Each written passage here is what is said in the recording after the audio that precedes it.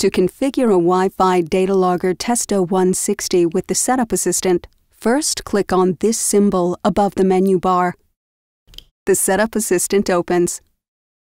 Click here on Connect the Wi-Fi data logger via the browser.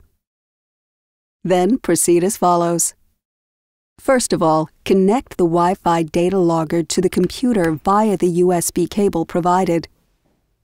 The on-off switch on the left-hand side must not be pressed during this operation. Secondly, enter the network name and the password of your wireless LAN. Thirdly, save this information on the logger with a right click.